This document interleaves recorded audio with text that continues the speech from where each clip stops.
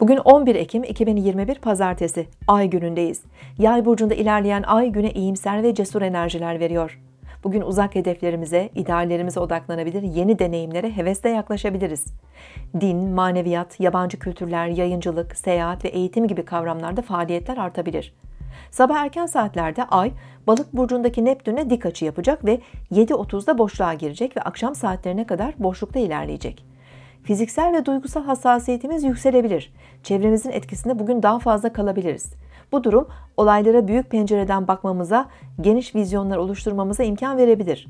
Ancak detayları gözden kaçırıp hayaller arasında kaybolmamız da mümkün. Günlük yaşamda bazı belirsizlikler ve karışıklıklar olabileceği için dikkatli hareket etmeliyiz. Bazı eşyalarımızı kaybedebiliriz veya ilk kez gittiğimiz yerlerde kaybolabiliriz.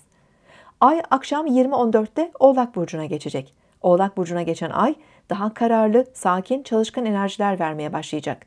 Geleceğimiz ve sorumluluklarımızla ilgili kaygılar duymamız da mümkün.